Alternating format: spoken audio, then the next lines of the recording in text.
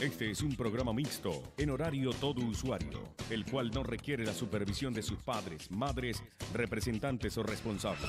Es una producción nacional.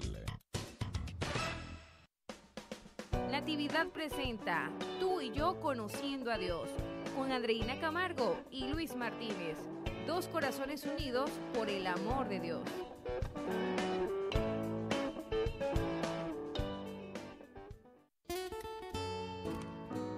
Buenas tardes amigos de Radio Natividad 101.7, 95.7 FM.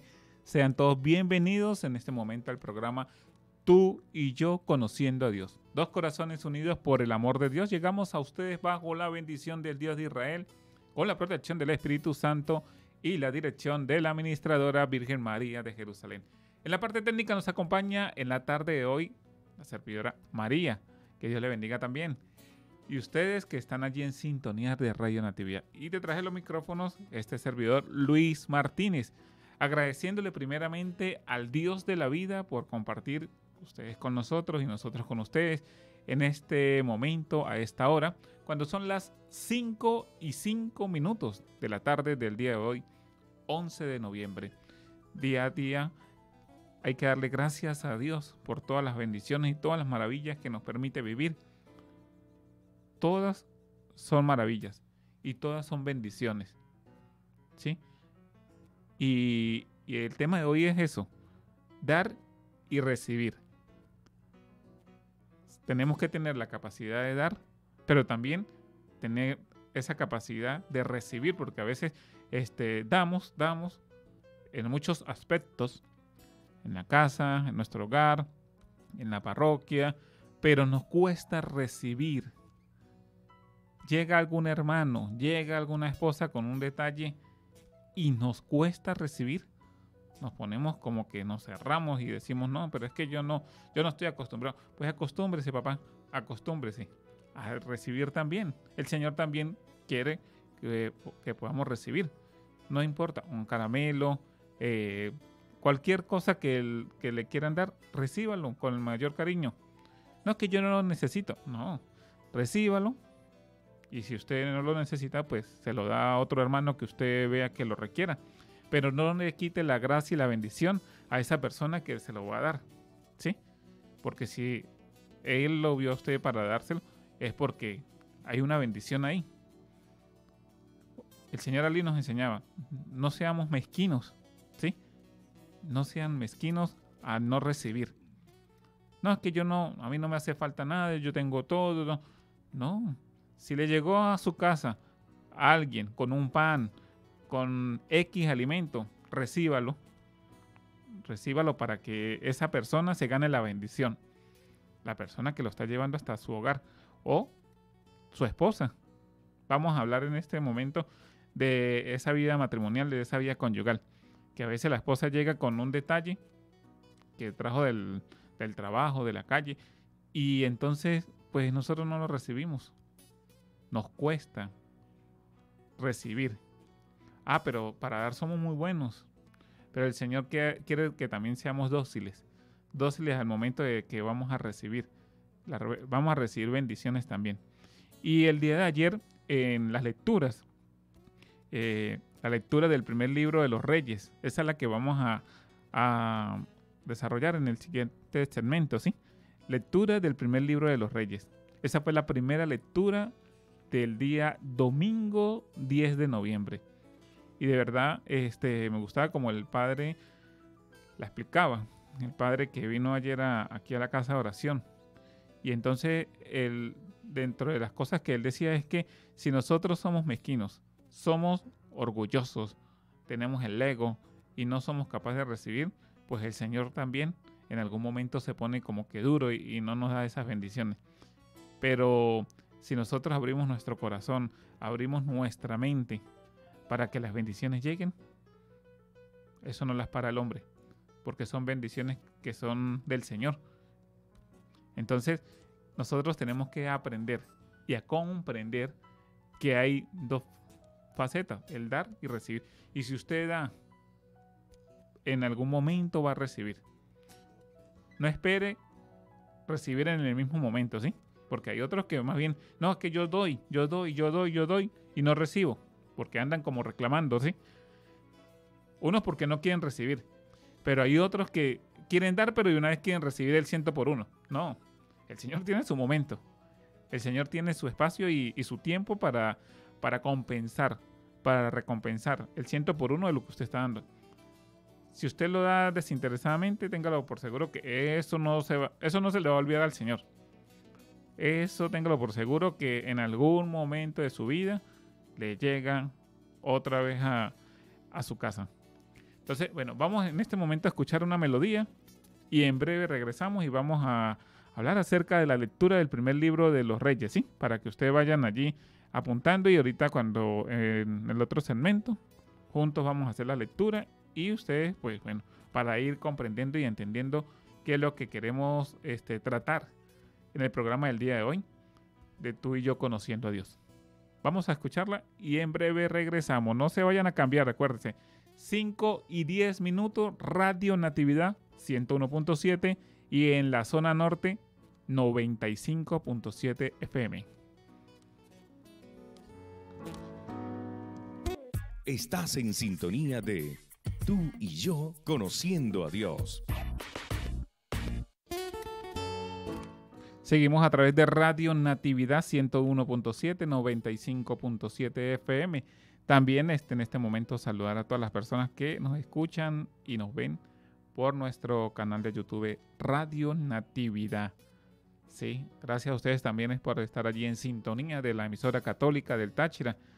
Radio Natividad está aquí en el estado Táchira, San Cristóbal, Venezuela, generando contenido eh, católico para, toda la, para todas las latitudes y de verdad que agradecido por ustedes por estar allí. Ustedes eh, a través del canal, pues también eh, allí observando todo el material que, Radio Natividad está generando a lo largo de, todos los de toda la programación. Y bueno, como les decía en el segmento anterior, íbamos a hablar acerca de la lectura del primer libro de los reyes. Pero quiero compartir con ustedes, dice, en la actualidad es muy frecuente encontrarnos con situaciones en las que se nos pide algún tipo de colaboración. La actitud de muchos es rebuscar entre los bolsillos, los bolsos o simplemente tomar la actitud de quien quiere pero no tiene. En estos casos, tiene mucho que ver la sinceridad y la honestidad, teniendo como uno de los ejes fundamentales la práctica de la virtud. La liturgia de la palabra nos enseña que debemos dar sin rebuscar, sino compartiendo con el corazón.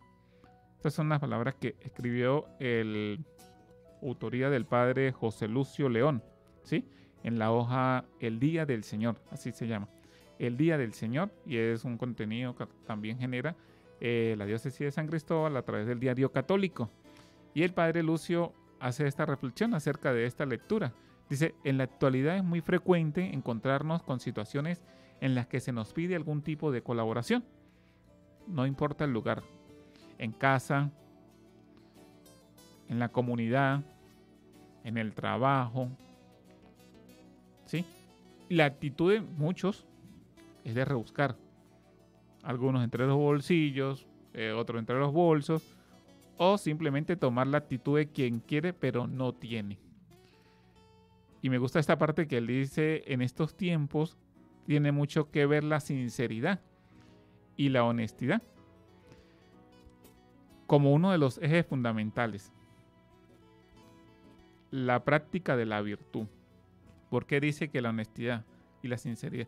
Pues si yo no tengo, pues no puedo dar, ¿sí? Probablemente no tenga alguna parte económica, pero puedo dar mi tiempo.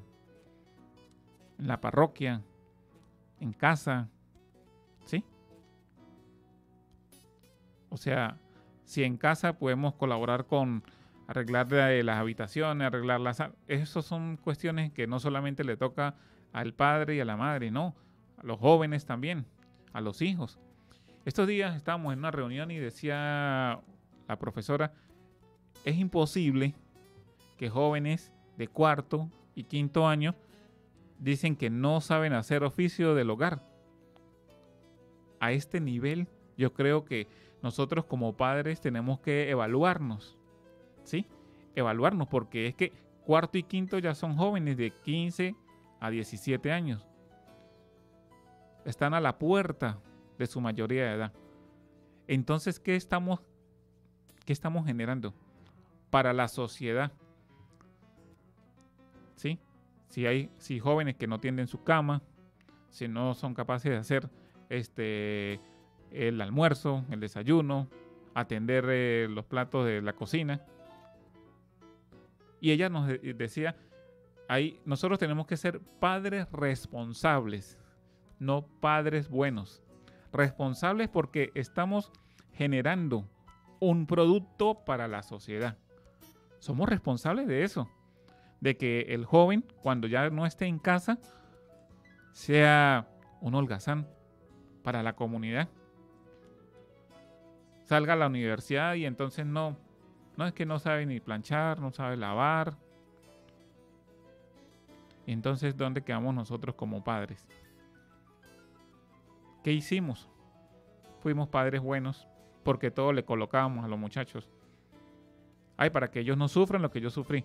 Ese cuento que, que va pasando como de generación en generación. ¿Sí?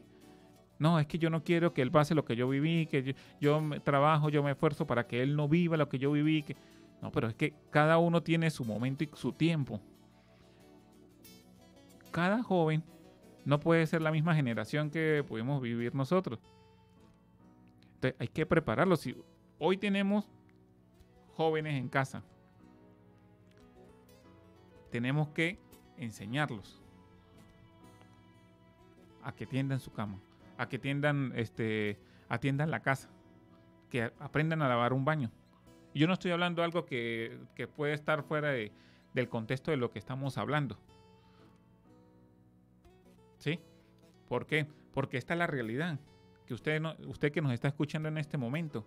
No, yo tengo un nieto que tiene 15, 17. Ay, no, pero yo no lo puedo poner a hacer eso porque es que él se molesta, porque él se pone bravo. Este, no, Abuela, ¿qué está generando ahí? ¿Qué está haciendo? ¿Una abuela responsable una abuela buena? No, tiene que ser abuela buena. Ella decía, en este momento, en este instante, pues muchos de los jóvenes están viviendo con la abuela, con la tía, pues porque los padres no están. Están fuera del país, están laborando, están trabajando. Pero el responsable tiene que estar allí con el joven. Que se molesten, que se pongan con una actitud este, grosera. Bueno, usted lo está haciendo por un bien. El bien es para él, no para uno, porque uno pues ya vivió esa, esa etapa. Pero usted está generando personas con valores. Esas personas de valores que a lo largo, ya muchacho de 15, 17, está a las puertas de la mayoría de edad. Eso hay que ir engranando. Paso a paso, ¿para qué? Para que ese joven pues sea bueno y pueda también dar frutos. Entonces, aquí dice, me gusta esto, ser honestidad, eh, sinceridad y honestidad. Son ejes fundamentales, ser honesto y ser sincero. ¿Sí? Si no tiene ahorita, pues no da. Pero si tiene tiempo, de su tiempo. Y como le decía en el primer segmento, el Señor Téngalo por seguro que no se va a quedar con nada de lo que usted dé. Por el prójimo, por su esposa, por su esposo, por la comunidad, por el muchacho que está trabajando con usted. Ay, no, pero que él aprenda solo. Que él aprenda, que él aprenda. No. ¿Por qué no somos capaces de enseñarle? Que no, que a él aprenda. A mí nadie me enseñó. Y así lo decíamos en el trabajo, hace muchos años. Y no sé hoy, pero cuando yo trabajaba en unas empresas decían eso. Pues que él aprenda, no es que es bachiller, no es que este, tiene un título. Y entonces uno se da cuenta que de verdad que comete unos errores. Y entonces, pero sin embargo decíamos que estábamos en la iglesia, que todo era muy bonito, que, que los domingos, que los sábados, para los retiros. Y entonces, pues no éramos testimonio. Y entonces, yo quiero compartir con ustedes esta lectura del primer libro de los reyes, donde esta viuda es testimonio es testimonio de lo que ella vive en su corazón. En aquel tiempo, el profeta Elías se puso en camino hacia Zarepta. Al llegar a la puerta de la ciudad, encontró allí a una viuda que recogía leña. La llamó y le dijo, tráeme por favor un poco de agua para beber.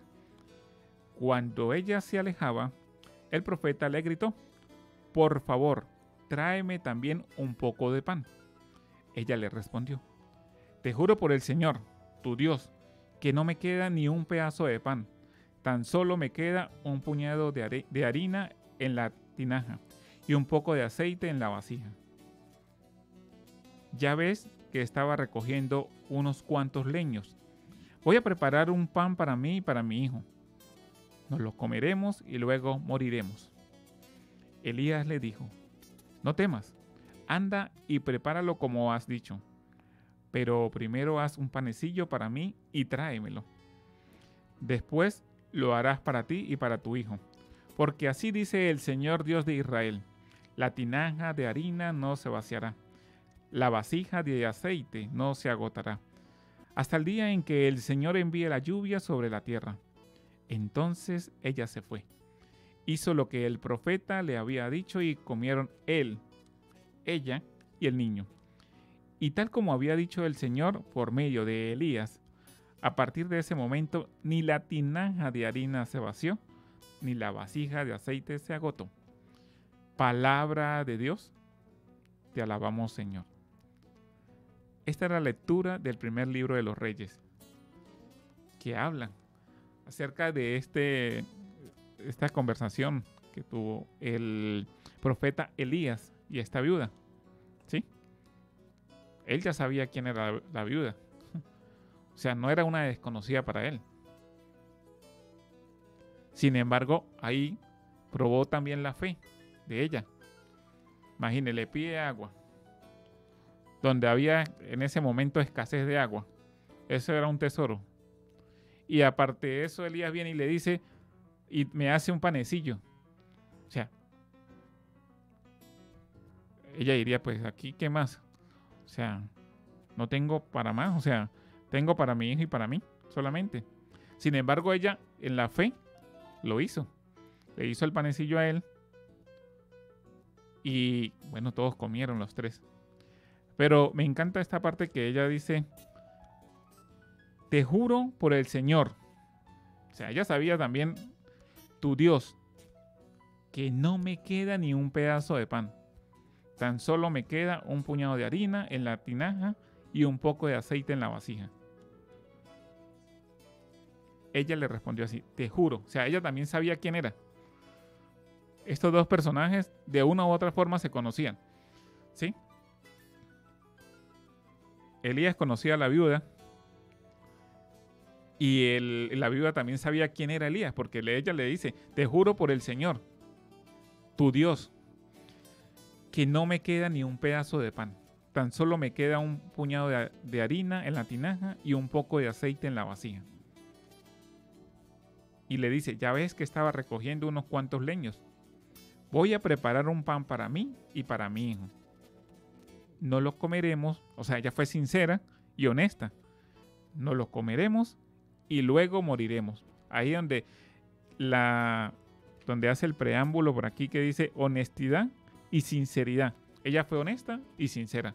No tengo más, tengo este puñado de, de harina, esto es lo que me queda. Después de esto, pues vamos a morir. Sin embargo, Elías sabía lo que venía, la bendición del Señor. Y eso es lo que vamos a hablar en el próximo segmento, ¿sí? Las bendiciones que vienen de parte del Señor. Ya regresamos.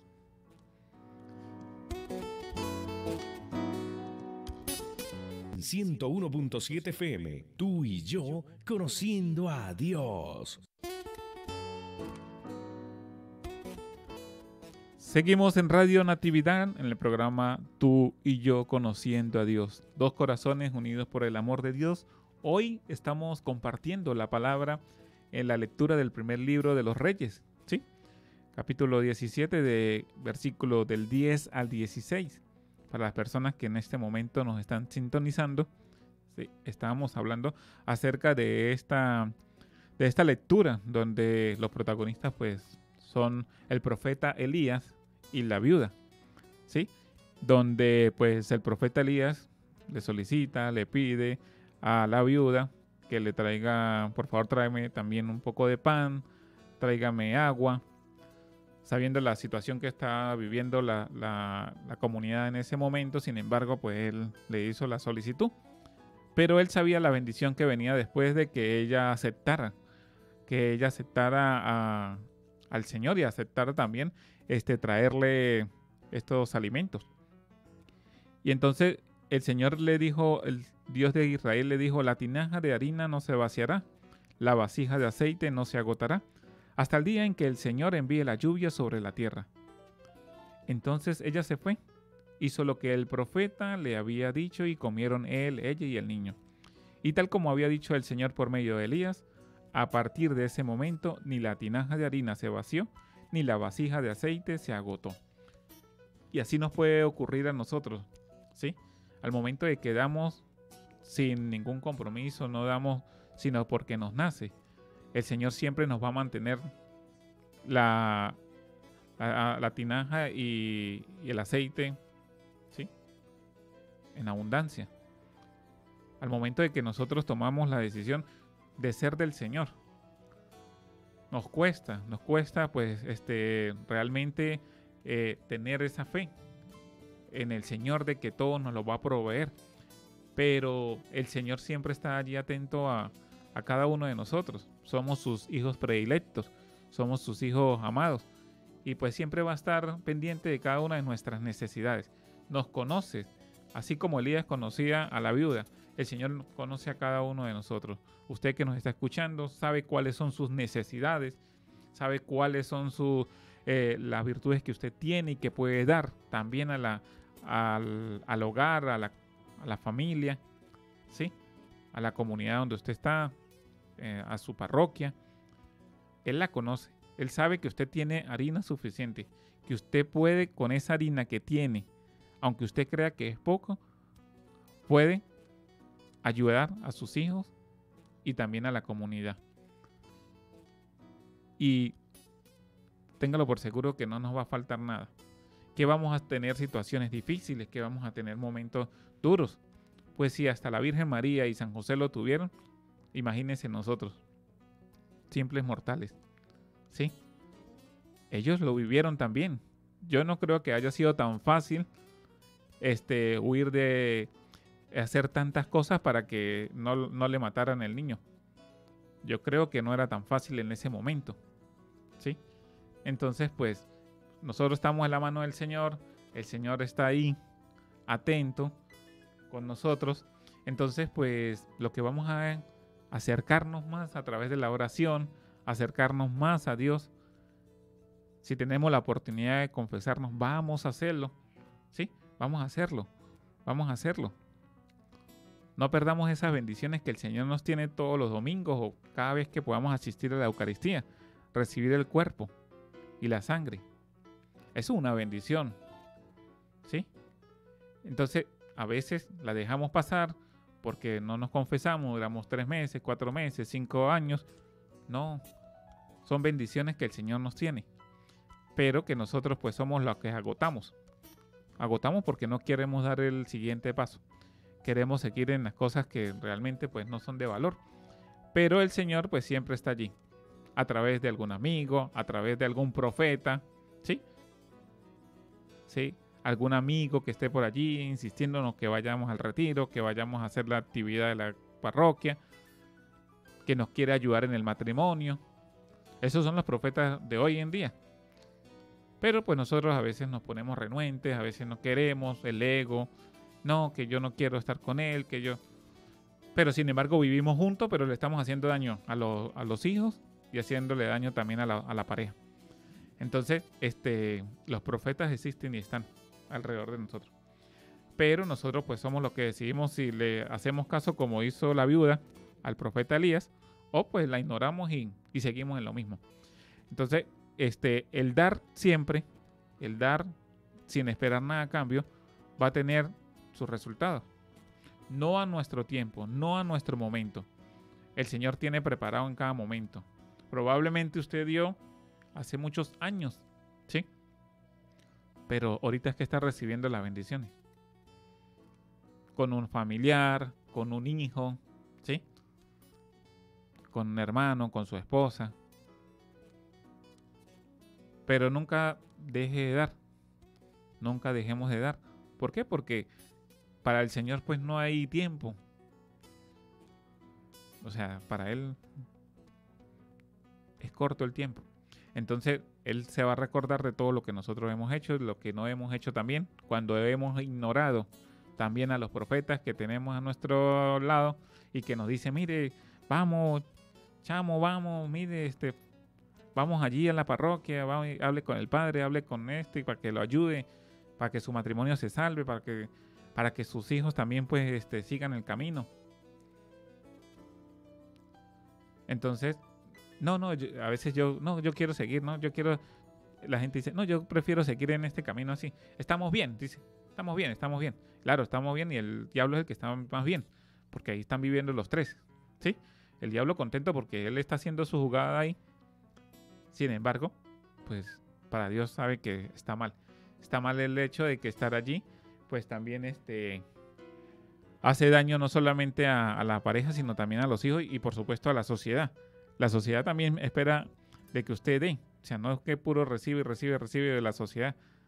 Lo decía un sacerdote hace tiempo. Decía, pero ¿hasta cuándo usted va a estar recibiendo? ¿Y nunca vas a dar o qué? Puro recibe, baja, retiro, retiro, retiro, retiro, retiro y retiro, retiro. Ajá, pero ¿y cuándo vas a dar? La comunidad, tu familia necesita que des, no que puro reciba. Porque eso es otro, otro, también otro esquema, ¿no? que el que quiere puro recibir, recibir, pero no quiere dar nada de lo que, lo que ha aprendido. O sea, hay de todo en la viña del Señor. Entonces hay unos que quieren, que no quieren recibir porque le da pena, porque ellos están siempre, este, en su mente es solamente dar, dar, dar, dar, dar y nunca recibir, porque les da pena, porque no creen que no, que no son dignos a recibir, porque creen que, que son, que no son dignos a recibir lo que el Señor quiere. Pero hay otros que más bien quieren recibir, recibir, recibir, pero nunca dar.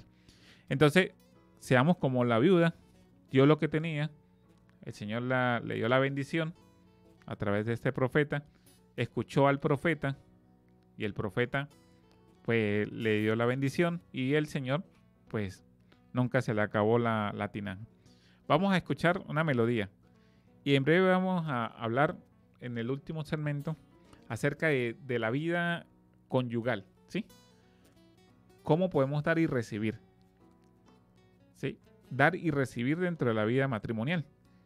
Porque solamente a veces esperamos que la esposa dé, que ella dé, que ella haga, que ella busque, que ella haga el mercado, que ella trabaje, no, que ella, ah, que lave los platos. Ah, y yo, pues viendo el juego del Barcelona, del Real Madrid, allá acostado. No, porque yo soy el que trabajo, dice uno. Entonces, donde haya un equilibrio entre ambas, ambas partes, porque en muchos casos pues el hombre y la mujer trabajan. Entonces, pues si el hombre y la mujer trabajan, pues también el hombre y la mujer deben, y si ya, los muchachos están en edad de ayudar en casa, pues es más fácil. Vamos a escuchar una melodía y regresamos en un corto tiempo para que finalicemos el programa del día de hoy, tú y yo conociendo a Dios. Estás en sintonía de Tú y yo conociendo a Dios. Radio Natividad 101.7 y 95.7 en la zona norte. Y por supuesto a través del canal de YouTube Radio Natividad. Estábamos y hemos hablado a lo largo del, del espacio acerca de la lectura del primer libro de los reyes, ¿sí? Donde está el profeta Elías, donde está la viuda. Y hemos ah, este, también conversado acerca de lo que es el, compartir y el dar, el dar y recibir.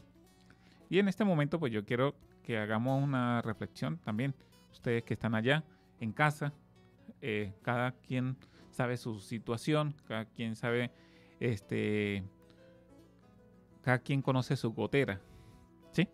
Cada casa tiene su propia gotera. Entonces, pues a veces permitimos que otras personas entren a nuestro hogar y nos modifiquen. No, Es que cada casa tiene su gotera. Pero también tiene sus virtudes. ¿Sí? Y no tenemos que dejarnos quitar eso. No, que llegó la suegra y colocó condiciones. No, cada quien sabe dónde está.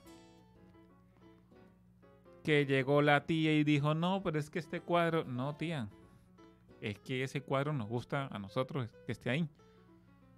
No, que esté, no, tía, ¿sí? Si somos permisivos, entonces, pues, dañamos la relación. La relación que, que podamos tener allí en casa.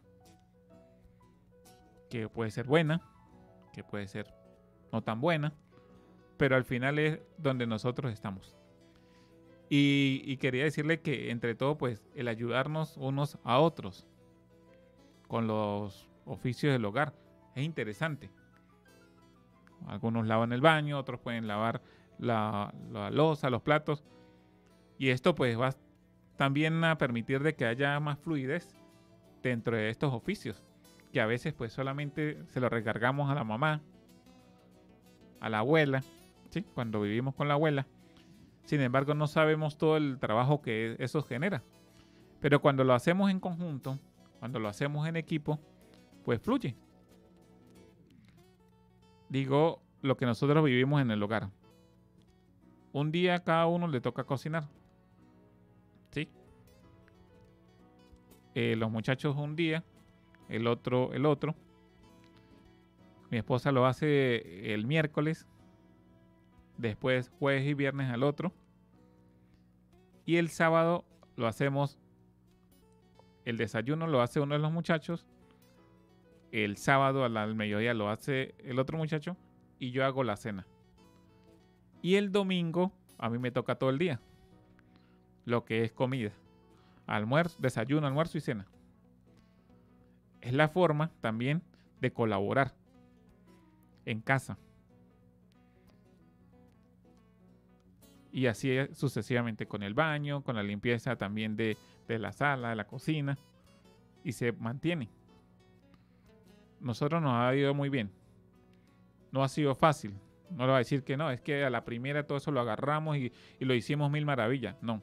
Tuvimos también nuestras, nuestras contradicciones. En algún momento no nos gustó, no. Pero ya hemos ido evolucionando en eso. Sin embargo, nos ha ido bien. Entonces, pues, para usted que nos está escuchando y nos está viendo, es una opción para compartir. Dar y recibir. Dar y recibir. En el hogar.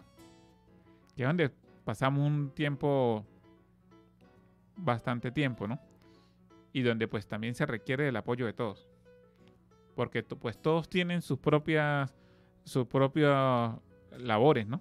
Los muchachos con su estudio, con su música, con su deporte, pero también tiene que haber un espacio también para que colaboren dentro de la, casa. ¿Para qué? Para cuando ellos ya estén fuera del techo de papá y mamá, pues ya saben cómo, cómo se van a desarrollar, cómo se tiene que emplear y que después que salgan de casa, pues que no que no sean este unos holgazanes también para otros. Probablemente nosotros, pues como padres, fuimos permisivos, pero pues hay otras personas que si no no se lo van a aguantar, entonces es mejor que el joven salga ya preparado para lo que le toque. Entonces, este, y allí damos todos con alegría, compartimos y bueno, y hacemos las cosas del hogar que son bastante fuertes. El lavar, hmm, imagínense eso, el lavar ropa, lleva su tiempo. Entonces, pues un día le toca a uno, el otro día le toca al otro y así. Pero pues se hace un poco más este, tranquilo porque entre todos participamos. Eso es lo que yo les quería decir. Entonces, todos trabajan porque cada uno de ellos pues tiene su estudio, de 7 a 2 y 45. Después en la tarde de 2 a, a 4 y 40 están en su música. Llegan a la casa, hacen su tarea y hacen su labor. Y nosotros como, como padres pues igual. tenemos nuestra labor, pero también pues llegamos a hacer la, la parte que nos corresponde en casa. Entonces, si nos unimos y lo hacemos, pues vamos a tener este un poco mayor de tranquilidad también, ¿no? Y todos pues participan en, en las cosas del hogar y ayudamos al otro, al prójimo, que es la esposa, que es el esposo, que es la mamá, que es el hermano. Llegamos a usted bajo la bendición del Dios de Israel, con la protección del Espíritu Santo y la dirección de la Administradora Virgen María de Jerusalén. Nos acompañó en la parte técnica María y detrás de los micrófonos este servidor Luis Martínez. Y agradecido con ustedes por estar allí conectados. ¿Sí? Yo sé que en el silencio hay muchas personas que nos están escuchando allí. ¿Sí? Que a veces no escriben, que a veces no, no mandan un mensajito, pero sé que los están escuchando.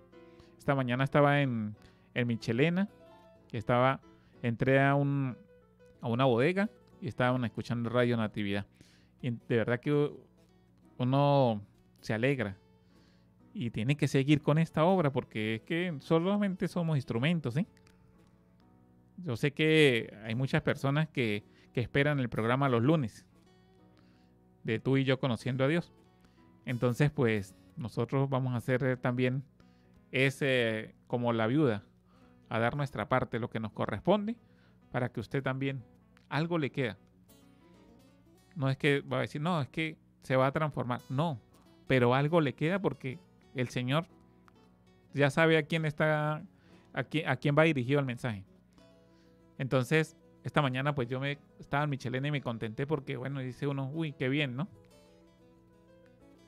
Y a veces cuando voy a Colón, cuando voy a la grita en el mercado, siempre colocan a, todo volumen Radio Natividad, la Eucaristía. Y eso pues este, le da uno satisfacción porque bueno, se está haciendo una labor desde aquí. Desde aquí, desde las lomas, generando todo este contenido evangélico también para que usted pues esté allí eh, conectado con Dios. A las 6 y 15 vamos a tener el Santo Rosario. Si usted tiene la disponibilidad de llamar, hágalo. ¿Sí? Ya le estamos haciendo el llamado. A las 6 y 15 vamos a hacer el Santo Rosario. Y lo vamos a colocar en este momento por los matrimonios. ¿Sí? Y por las viudas. Que por diferente situación, pues ya no está su esposo o no está su esposa. Vamos a orar por los matrimonios y por las viudas que en este momento este, existen en, el mundo, no solamente aquí en el Táchira, sino en, en Venezuela y el mundo entero. Entonces, 6 y 15, los espero que se conecten, que coloquen a todo volumen Radio Natividad para que el vecino también escuchen. ¿Sí? Usted no sabe si usted es en ese momento el profeta Elías. Usted no sabe si con subirle un poquitico de volumen puede ayudar al vecino que está en este momento viviendo una situación. O a la vecina. O si está en casa, no sabe si... Porque a veces uno no sabe la misma situación que puede estar viviendo el otro. puede ser que con el rosario el Señor le abra el camino y por ahí se vaya. Entonces, a las 6 y 15 los espero. Escuchen, 6 y 15, ¿no? Y luego a las 7 y 30, el que pueda venir a la casa de oración, están las puertas abiertas de nuestra casa de oración Virgen María de Jerusalén, Jerusalén, para la Santa Eucaristía, 7 y 30. Están invitados. El que pueda venir, bienvenido es. Y el que lo va a escuchar, pues también, porque si está lejos, no se va a acercar aquí a las instalaciones. Pero lo va a escuchar. Ya se lo estoy haciendo 6 y 15 Santo Rosario, 7 y 30 la Santa Eucaristía. Planifiquen ahí en este momento. Le voy a dar chancecito para que hagan el café, para que hagan la cena, para que cuando llegue su esposo usted se lo tenga ahí y diga, mire, aquí está la arepita, aquí está lo que le hice. Y bueno, vamos, voy a sentarme a escuchar el Santo Rosario, a hacer el Santo Rosario, no a escucharlo, vamos a hacerlo juntos. Y luego vamos a escuchar la Santa Eucaristía. Dios les bendiga. Nos vemos el próximo lunes. En el nombre del Señor, primeramente, estaremos el próximo lunes, mi esposa y yo, en el programa Tú y yo conociendo a Dios.